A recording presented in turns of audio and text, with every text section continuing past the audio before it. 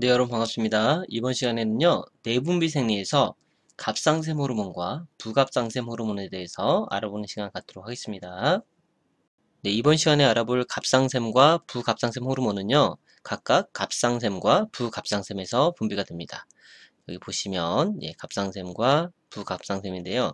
예, 각각 어디 있나요? 자, 지금 보시면 여기 있습니다. 일단 갑상샘이 우리 목에 있다고 보시면 돼요. 목의 위치, 가운데 위치했다고 보시면 되고요. 다만 여기 표시된 이제 부갑상샘은 사실 이 앞에서 지금 보이는 것처럼 표시했지만 실제로는 앞에서는 보이지 않고요. 뒷면에서 보입니다. 그래서 어쨌든 대략의 위치가 이 목 부위에 있다는 거 먼저 체크를 하고 뭐 시작을 하도록 하겠습니다. 예, 다시 한번 정확하게 갑상샘과 부갑상샘의 위치를 살펴보겠습니다. 우리 앞에서 본 그림에서는 전체적으로 예, 목 부위에 있다는 것을 확인했고요. 자, 먼저 갑상샘 같은 경우는 여기 보시면 여기 후두, 후두 연골이 있습니다. 이렇게 방패 연골이 있고요. 이쪽 이제 후두가 되겠습니다. 그리고 그 아래로 이렇게 기관이 쭉 연결되는데요. 예, 그 기관, 바로 그 방패 연골 아래쪽에 기관 쪽에 이렇게 약간 나비 넥타이 모양이라고 해야 될까요? 예, 이런 형태로 이렇게 존재합니다.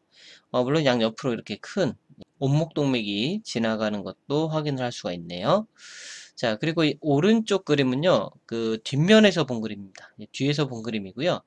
지금 이거 같은 경우는 인두이면서 그 아래쪽으로는 식도가 이어집니다. 어, 지금 앞부분은 아까 살펴봤던 기관이고, 예, 기도, 예, 그 뒷부분이 이제 식도입니다. 그 두 개를 다 감싸 안는 듯이 되어 있는 것이 갑상샘이고, 지금 보이는 이 모습, 이렇게 하나, 둘, 셋, 넷, 예, 이렇게 보이는 것이 어, parathyroid gland, 예, 부갑상샘이 되겠습니다. 자, 내용을 한번 살펴보면요. 예, thyroid gland라고 하고요. 이 thyro라는 뜻 자체가 방패라는 뜻이에요. oid는 어떤 모양의 라는 뜻이고요. 그래서 이 갑자가 방패 갑자입니다. 예, 그리고 상은 모양 상자. 그러니까 방패 모양의 샘입니다. 만약 이걸 우리말로 굳이 번역을 했다면 뭐 방패샘 뭐 이렇게 불렀을 수도 있지만 어쨌든 공식 의학 용어로는 예, 갑상샘이 됩니다. 예, 후두 연골 아래쪽에 있고요. 예, 기도 앞쪽에 좌우에 두 개 엽이 있습니다. 예, 이렇게 양쪽에 이렇게 두 개 엽이라고 보시면 되겠고요. 그 가운데 잘룩하게 되어 있는 것이 갑상샘 잘룩이라고 합니다. 그래서 결국은 나비 넥타이 모양이 되는 거죠. 그리고 어, 정상 성인에서 약 어, 15 내지 20g 정도의 어, 무게를 차지합니다. 자 그리고 이번에 부갑상샘은요 예, parathyroid 호르몬 여기서 이제 thyroid가 있고 para라는 말은 어, 여기 말 그대로 부란 뜻이에요 부 그러니까 사실은 원래는 나란하다 어, 나란한 그런 이제 parallel하다라는 뜻인데 여기서 이제 부 같은 경우는 만약 회장이 있다 그러면 부회장도 있죠 어, 그리고 뭐 과대가 있다 그럼 부과대도 있잖아요 예, 그 부, 그러니까 나란히 가면서 도와주는 사람이죠. 예, 그래서 파라 어, 이런 뜻을 쓰면서 이제 부갑상샘이 되겠습니다. 자, 그리고 이제 갑상샘 뒤쪽의 양쪽에 위치하죠. 여기 확인한 것처럼 있고요. 그다음에 각각 한 쌍씩 총 이제 네 개가 한 쌍, 그죠? 두 쌍이니까 총 네 개가 존재를 합니다. 그리고 어, 8mm 정도의 쌀알 크기 굉장히 작죠. 작죠.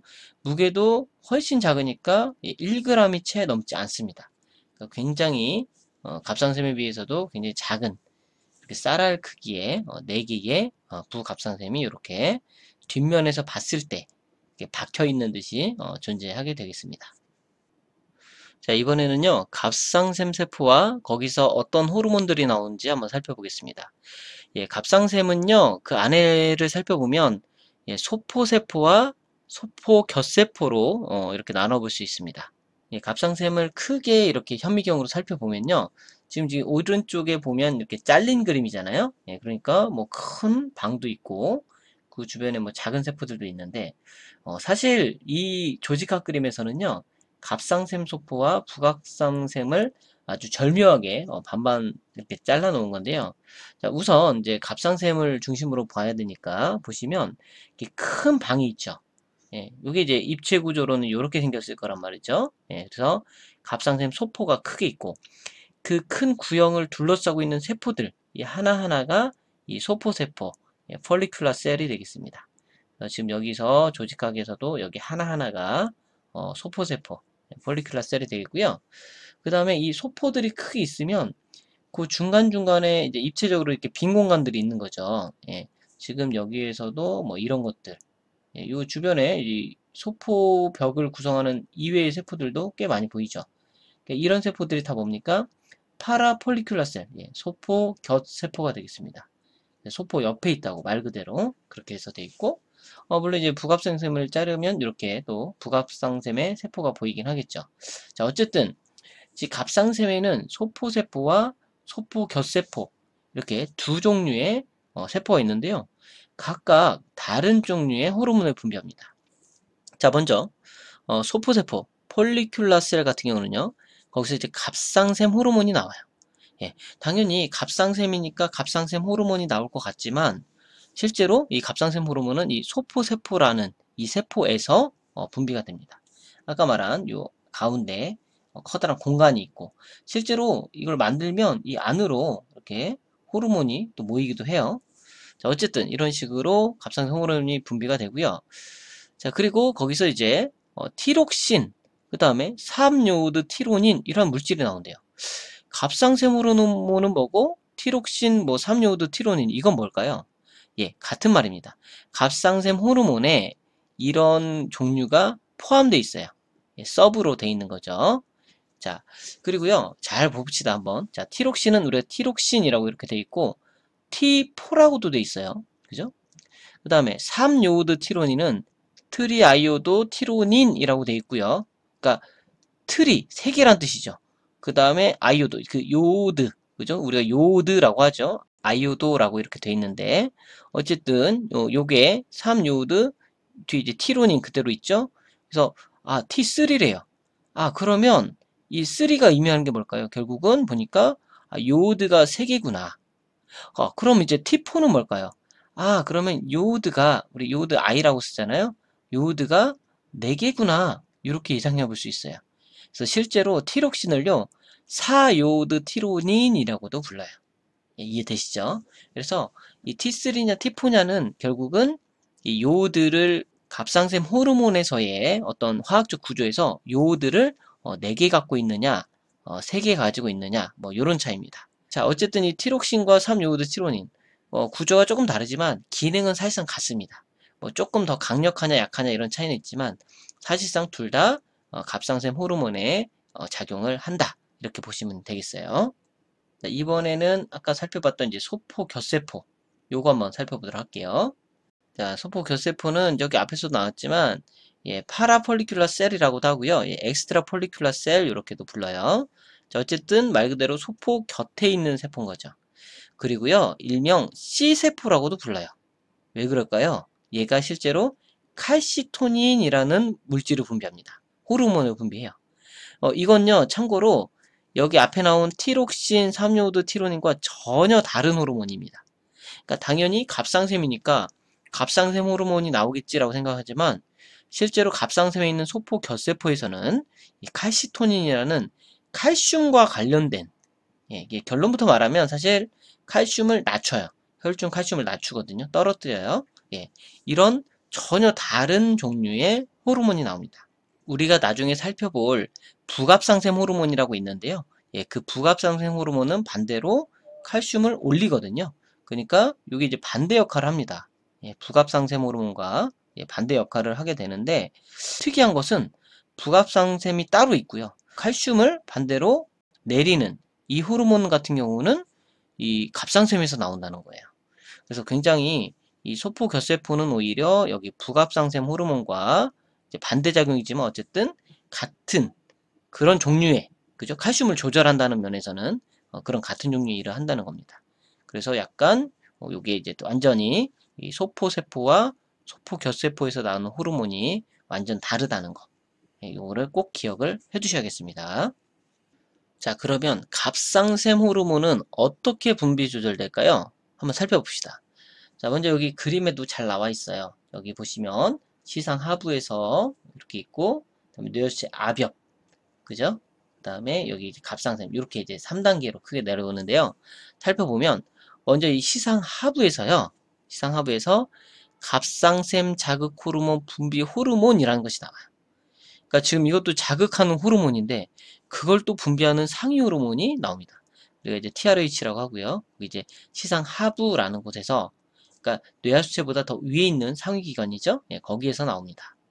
자, 그 다음에 갑상샘 자극 호르몬이 드디어 이 호르몬의 그죠 자극 호르몬 TRH의 자극에 의해서 어, 뇌하수체 압엽에서 나옵니다. 예, 원래 이 갑상샘 자극 호르몬은 뇌하수체 압엽 호르몬이죠. 자, 그 이후에 이 갑상샘 호르몬, 즉 T3, T4, 어, 티록신이나 3요오드 티로닌이 갑상샘에서 나옵니다. 그러니까 이렇게 3단계에 걸쳐서 나오고요. 최종적으로 이 갑상샘 호르몬이 온 조직, 온 몸으로 가가지고 각각의 이제 자기 역할을 하는 거죠. 기본적으로 여기 나온 대로요. 뭐 대사를 증가시키고 체온을 증가시키고 그다음에 정상적인 성장과 발달을 시킵니다. 어, 결론적으로는 우리 몸에 있는 모든 세포를 이렇게 활활 태운다고 보시면 돼요. 그러니까 대사라는 거죠. 그러니까 우리 몸이 결국은 에너지를 사용하고 어떤 작용들을 하겠죠. 그게 이제 살아가는 생명체 특징이잖아요. 예, 그런 것들을 잘 활활 잘 유지될 수 있도록 도와주는 것이 갑상샘 호르몬입니다. 그래서 이것도 과잉증과 과소증, 항진증과 저하증이 아주 명확하게 구분이 되니까 그건 조금 더 살펴보겠고요. 어쨌든 이런 스텝으로 분비가 조절이 됩니다. 그리고 여기 그림에 나온 것처럼요. 이게 충분히 많아지면 반대로 이 뇌하수체 앞엽이랄지 그다음 시상 하부를 직접 이렇게 억제하는 이런 일들이 벌어집니다. 즉 이것이 negative feedback, 음성 되먹임 기전이 되겠죠. 예, 아주 전형적인 이런 기전이 되겠습니다. 예, 갑상샘 호르몬의 기능을 한번 살펴보겠습니다. 자, 일단은 특정 표적 세포 없이 거의 모든 세포에 작용한다는 것이 어, 중요합니다. 그만큼 모든 세포에 다 중요하다는 얘기가 되겠죠. 자, 그리고 모든 세포에 대사를 항진시킵니다. 그러니까 신진 대사를 촉진시켜요. 그러니까 이제 대사라는 말이 좀 어렵게 느껴질 수도 있지만 말 그대로 생명체가 에너지를 만들어내고 소비하고 생명을 유지하기 위해서 지속적으로 지속 가능하게 가는 것. 그게 이제 신진대사고요. 그것을 촉진시키는 역할을 합니다. 자, 그렇기 위해서는 어떤 일들이 벌어집니까? 결국은 몸을 태우는 거예요. 활활. 태웁니다. 근데 이제 불 붙여서 활활 태우는 게 아니라 느린 연소라고 하거든요. 예, 에너지를 소비하는 것. 그래서 열도 증가하잖아요. 예, 그래서 이런 것들. 이, 그래서 이걸 촉진시키기 때문에 열이 증가하겠죠. 상승되겠죠. 예. 그 다음에 기초대사율. 예, 기초대사율이라는 게 있어요. 밥을 먹고 숨을 쉬고 아주 최소한으로만 어, 진행되는 것.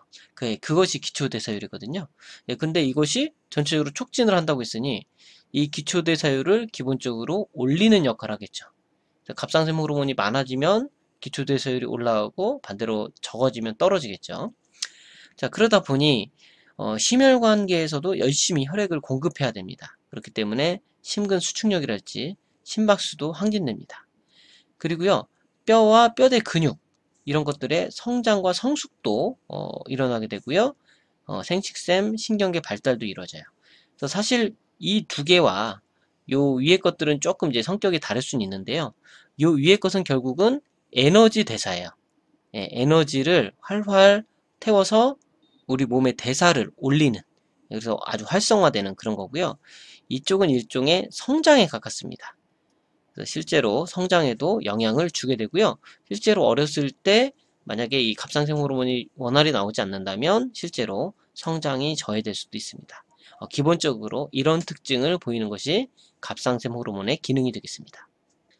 자, 방금 살펴봤던 것처럼 갑상샘 호르몬의 기능은요, 어떤 신진대사, 기초적인 대사를 항진시키는 예, 우리 몸이 잘 느린 연소지만 세포들이 활활 탈 수 있도록 어, 활동할 수 있도록 도와주는 것입니다.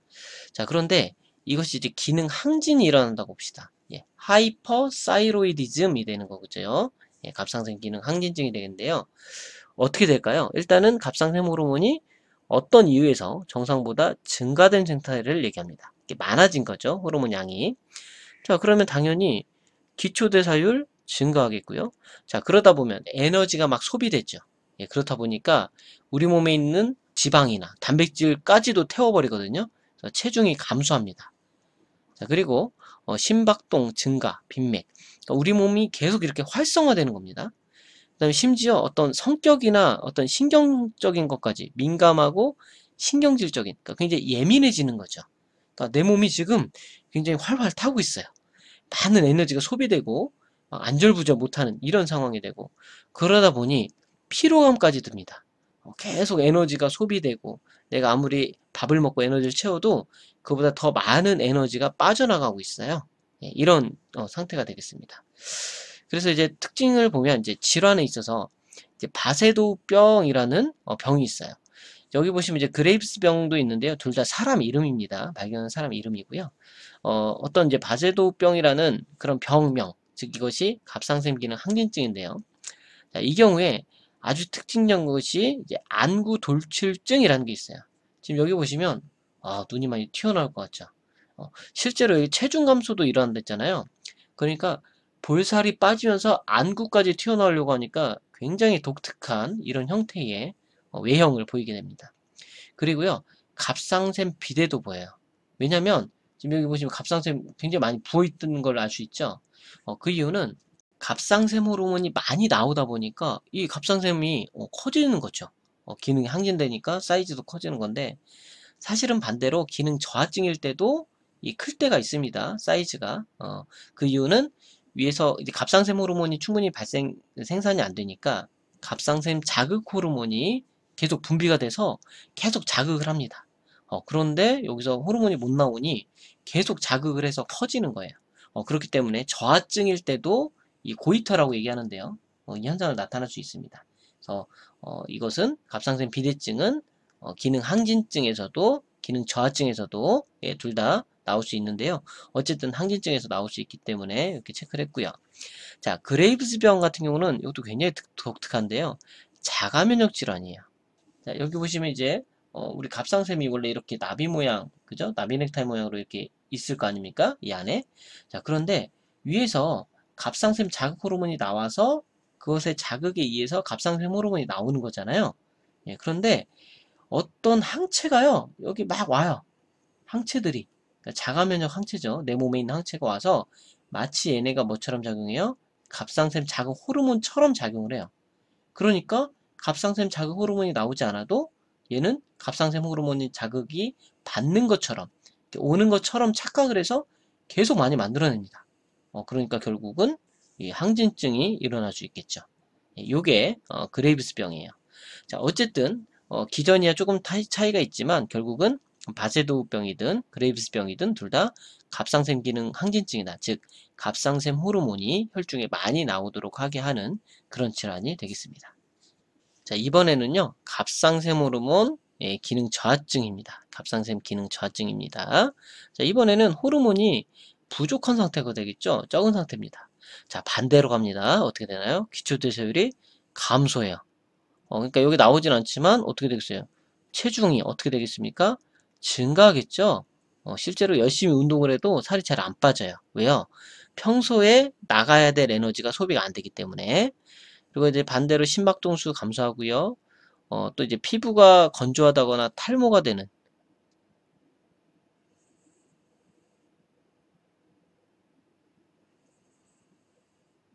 예, 이런 특징이 있는데요. 이것도 역시 대사가 떨어지면서 일어날 수 있는 일이고요. 심지어 심리적으로 예, 무력감, 우울증까지 올 수 있대요. 그러니까 우리 몸에 있는 대사가 다 다운돼요. 푹 꺼집니다. 그러니까 어, 정신적인, 신경적인 부분도 같이 다운돼요. 그 무력해지고 심지어 우울해지고 이렇게 예, 됩니다. 그래서 반대로 아까 항진증에서는 예민해지고 민감해지고 자다가도 막 벌떡벌떡 깨고 그런 일인데 이건 그 반대예요. 그러니까 너무 명확하죠. 그냥 상식적으로도 충분히 어, 예상할 수 있는 어, 그런 부분들이 되겠어요. 자 질환으로는요 이제 점액 부종이라는 게 있어요. 점액 수종이라고도 하고요. 예, 믹세데마라고 하는데요. 예, 피부 밑 조직에 점액 물질이 저류돼서 전신 부종, 그러니까 온몸이 퉁퉁 뿔는, 그죠? 부어 오르는 이데마가 일어납니다. 이게 점액 부종인데요. 이건 이제 큰 이유 중 하나가 혈액 순환이 잘 안 돼요. 혈액 순환이 잘 안 되니까 림프액 순환도 안 되고 그러면서 이 몸의 전체적으로 아까 대사가 다운된다고 했잖아요. 그러니까 이런 부종이 일어나게 됩니다. 한편 이제 크레틴병이라는 게 있는데요. 이 크레틴병 같은 경우는요. 어, 크레티니즘이라고 하는데 특히 영아 시기에서 갑상샘 저하증이 나타나는 겁니다. 크레티병 있죠. 이렇게 보시면 이제 정신지체. 아까 보시면 갑상샘 호르몬이 어떤 대사뿐만 아니라 성장에도 영향을 준다고 했어요. 그러니까 이렇게 어릴 때 일어나면 성장이 다, 그러니까 신경적인 성장도 멈추게 되고요. 신체적인 성장도 멈추게 되고요. 어, 멈추고 지연되면서 정상적으로 뼈대가 제대로 형성되지 않을 수도 있는 거죠. 예, 이런 현상까지 일어납니다. 굉장히 이것을 빨리 어, 캐치를 하게 되면 갑상샘 호르몬을 투여할 수 있거든요. 이걸 이제 놓치게 되면 이제 이런 현, 상들이 나타나고 여기 보시면 이렇게 혀가 좀 두꺼워지고 뭐 이런 특징들도 보이게 됩니다. 예, 여기 아까 나왔던 이제 점액 부종인데요. 보시면 알겠지만 여기도 이제 고이터가 보입니다. 약간 예, 갑상샘 호르몬이 비대해지는 이 저하증에서도 나올 수 있다고 했죠. 어, 그리고 보시면 알겠지만 굉장히 이렇게 좀 살이 많이 쪄 보이는 예, 그런 현상이고 굉장히 좀 처져 보이는 예, 그런 현상이 나타납니다. 이게 지금 갑상선 기능 저하증, 점액 부종, 그러니까 이제 피하가 어떤 이제 부종, 퉁퉁 부어 오르는 전신적으로 예, 이런 현상을 확인할 수가 있습니다. 자 이번에는요 혈중의 칼슘 조절을 볼게요. 자 우리가 아까 살펴봤던 칼시토닌과 그 다음에 이 부갑상샘 호르몬이 있었죠. 자 이것은 각각 어디에 있었습니까? 소포 결세포에서 나왔고요. 예, 부갑상샘에서 각각 나왔어요. 어, 서로 나오는 것도 다르고 그리고 이제 기능도 완전 반대인데 하나는 갑상샘에 있고 하나는 부갑상샘 자체에 있다는 거 차이가 있고요. 예, 칼시토닌은요 앞서 잠깐 얘기했지만 칼슘 농도를 떨어뜨립니다. 감소시켜요. 떨어뜨려요. 이게 조금 헷갈릴 수 있는데 어떻게 생각하시면 좀 편하냐면 우리가 인슐린 있죠. 인슐린. 인슐린은 결국 혈당을 떨어뜨리는 역할을 합니다. 그래서 카시토닌도 예, 같이 닌으로 끝나니까 예, 똑같이 이것도 칼슘을 떨어뜨린다라고 생각하시면 되고요. 반대로 부갑상생 호르몬은요 혈중 칼슘 농도를 증가시킵니다. 이번에는 증가시켜요. 완전히 반대입니다. 예, 아까 우리가 앞서 살펴봤던 갑상샘 호르몬 같은 경우는 그 자체가 늘어나고 줄어듦에 따라서 대사가 증가되고 낮춰져요. 그러니까 서로 반대 호르몬이 따로 있는 것이 아니라 하나가 양으로 조절하는 거죠. 근데 이 칼슘 조절은 따로 조절해요. 그러니까 하나가 많아지고 적어지면서 조절하는 게 아니라 떨어뜨리는 애 따로 올리는 애 따로가 있다는 거죠. 그만큼 혈중 칼슘 농도 조절이 중요하다는 뜻입니다. 실제로 굉장히 많은 역할을 하죠. 자, 또 마저 살펴보면요. 카시토닌은요, 어, 결국은 감소시키기 때문에 언제 분비가 될까요? 예, 칼슘 농도가 많아졌을 때 떨어뜨리기 위해서 분비가 됩니다. 그러니까 즉 반대 상황에 어, 분비가 되는 게 당연히 맞겠죠. 자 그러면 어떻게 떨어뜨리냐? 예, 장관에서 흡수를 감소시킵니다. 그러니까 소화기관으로 혈중으로 흡수되는 것을 막는 거예요. 그 다음에 뼈에다 갖다 집어 넣습니다. 어, 뼈에다 침착시키는 거고요. 이번에 또 오줌으로 빠져나가는 것을 그대로 놔버립니다. 어, 결국은 이 세 가지에 의해서 혈중 칼슘 농도. 여기서 중요한 건 혈중 칼슘 농도라는 거예요. 예, 우리 몸 전체가 아니라 혈중에, 혈액 중에 칼슘 농도를 조절하는 거기 때문에 혈액 중에서만 낮아지면 돼요. 그러니까 뼈에 침착시키는 것은 혈액 중에서 낮아지만 우리 몸에서는 어, 그대로 유지되는 거잖아요, 사실. 그럼에도 불구하고 중요한 건 혈중 걸 떨어뜨린다는 거. 이 세 가지 방법에 의해서 어, 떨어지게 되고요. 반대로 갑상샘 호르몬은요, 이게 언제 이제 증가시키는 거니까 떨어질 때 반대로 증가를 시키겠죠. 그리고 어떤 기전으로요? 예, 반대입니다. 완전. 장관에서 흡수 증가시키고요. 뼈에서 이제 빼내옵니다. 어, 뼈에서 긁어 나, 내려와요. 어, 꺼내옵니다. 그리고 소변 배출량을 감소시킵니다. 그러니까 소변을 배출시키는 걸 감소한다는 게 아니고요. 소변으로 배출되는 칼슘의 양을 감소시킨다는 겁니다. 예. 그래서 어쨌든 여기 완전히 이렇게 반대로 작용을 합니다. 저희 그림을 보시면 증가했을 때냐 반대로 또 떨어질 때냐 이 두 가지 반대적인 상황에서 어떤 호르몬이 나올지가 너무 명확히 떨어지는 거죠. 예, 그래서 칼시토닌과 부갑상샘 호르몬까지 이 칼슘의 조절을 하는 반대로 하는 예, 그런 어, 호르몬까지 살펴봤습니다. 그래서요, 예, 갑상샘 호르몬, 갑상샘에서 나오는 갑상샘 호르몬과 칼시토닌, 그리고 부갑상샘에서 나오는 부갑상샘 호르몬까지 정리를 해봤습니다. 예, 이번 시간은 여기서 정리하겠습니다. 수고하셨습니다.